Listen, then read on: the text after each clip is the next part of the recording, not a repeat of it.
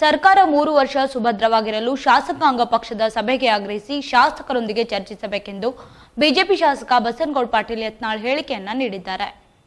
ವಿಜಯಪುರದಲ್ಲಿ ಮಾಧ್ಯಮದವರೊಂದಿಗೆ ಮಾತನಾಡಿದ ಬಿಜೆಪಿ ಶಾಸಕ ಬಸನಗೌಡ ಪಾಟೀಲ್ ಯತ್ನಾಳ್, ಕೂಡಲೇ ಶಾಸಕಾಂಗ ಪಕ್ಷದ ಸಭೆ ಕರೆಯಬೇಕು. ಸಚಿವ ಸಂಪುಟದಲ್ಲಿ ಪ್ರಾದೇಶಿಕ ಅಸಮಾನತೆ, ಬಜೆಟ್ನಲ್ಲಿ ಹಣ ಮೀಸಲು ಬಗ್ಗೆ ಶಾಸಕರೊಂದಿಗೆ ಚರ್ಚಿಸಬೇಕು ಎಂದರು.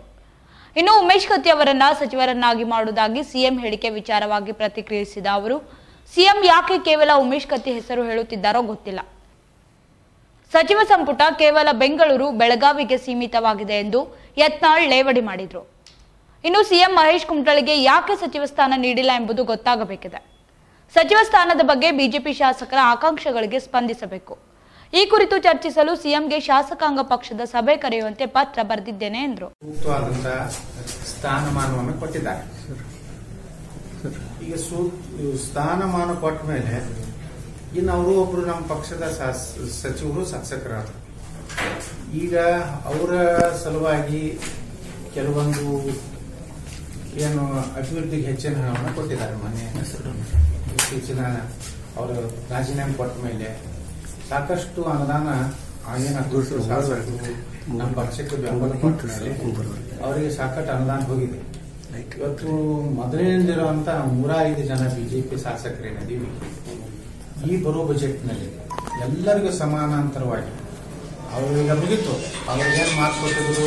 ಸಾಮಾನ್ಯ ಸನ್ಮಾನ್ಯ ಮುಖ್ಯಮಂತ್ರಿಗಳು ಅವರು ರಾಜೀನಾಮೆ ಕೊಟ್ಟು ಬಂದ್ರೆ ಅವ್ರಿಗೆ ಹೆಚ್ಚಿನ ಅನುದಾನ ಎಲ್ಲ ಕೊಟ್ಟಿದ್ದಾರೆ.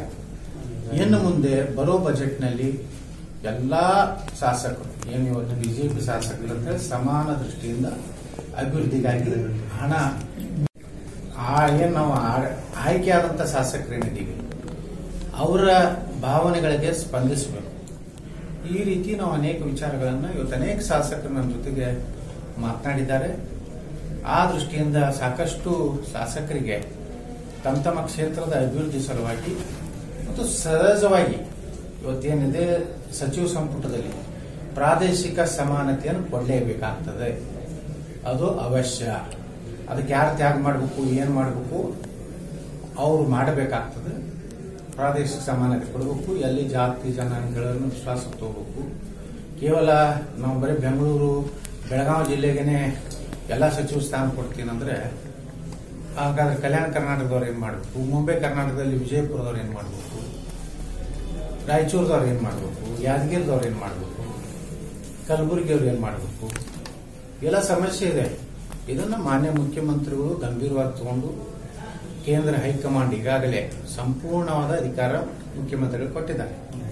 ಅವರು ಯಾವುದೇ ರೀತಿಯ ಮಾನ್ಯ ಹೈಕಮಾಂಡ್ ಹಸ್ತಕ್ಷೇಪ ಮಾಡಿಲ್ಲ. ಇದು ನಾನು ಬಹಳ ವಿಶ್ವಾಸ ಮೂಲ, ವಿಶ್ವಾಸಾರ್ಹ ಮೂಲದಿಂದ ಹೇಳ್ತಾ ಇದ್ದೀನಿ. ಅದಕ್ಕೆ ನಾನು ಮಾನ್ಯ ಮುಖ್ಯಮಂತ್ರಿಗಳಿಗೆ ನಿಮ್ಮ ಮೇಲೆ ವಿಶ್ವಾಸ ಇದೆ. ನೀವು ಮೂರು ವರ್ಷ ಒಳ್ಳೆಯ ಸರ್ಕಾರ ನಡೆಸಬೇಕಾಗಿದೆ. ಅದಕ್ಕೆ ಶಾಸಕಾಂಗ ಪಕ್ಷದ ಶಾಸಕರ ಭಾವನೆಗಳನ್ನ ತಿಳ್ಕುವಂತ ಪ್ರಯತ್ನ ಮಾಡಬೇಕಂತ ಹೇಳಿ ನಾಡಿನಲ್ಲಿ ನಡೆಯುವಂತಹ ಬಜೆಟ್ ಅಧಿವೇಶನದಲ್ಲಿ. ನಮ್ಮ ನಮ್ಮ ಭಾಗದ, ಉತ್ತರ ಕರ್ನಾಟಕದ ನೀರಾವರಿ ವಿಚಾರವಾಗಿ ಮತ್ತು ಹಲವಾರು ವರ್ಷಗಳಿಂದ ಏನೋ ಈ ಭಾಗಕ್ಕೆ ಅನ್ಯಾಯ ಆಗಿದೆ.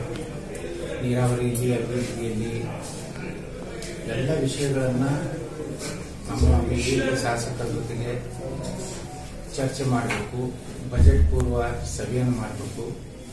ಮತ್ತು ಸಾಕಷ್ಟು ಶಾಸಕರಲ್ಲಿ ಒಂದು ರೀತಿ ಏನು ಸಚಿವ ಸಂಪುಟದ ಬಗ್ಗೆ ಮತ್ತು ಪ್ರಾದೇಶಿಕ ಒಂದು ಏನು ಸರಿಯಾದಂತಹ ಸ್ಥಾನಮಾನಗಳು ಪ್ರಾದೇಶಿಕವಾಗಿ ಕೊಡಬೇಕಾಗಿದೆ, ಅದನ್ನ ಆಗ್ತಾ ಇಲ್ಲ ಅಂತ ಮನಸ್ಸಿನಲ್ಲಿ ನೋವಿದೆ ಅದಕ್ಕೆ ನಾನು ಮಾನ್ಯ ಮುಖ್ಯಮಂತ್ರಿಗಳಿಗೆ ಅವರ ಒಂದು ವಿಶ್ವಾಸ ಹೆಚ್ಚು ಮಾಡಲಿಕ್ಕೆ.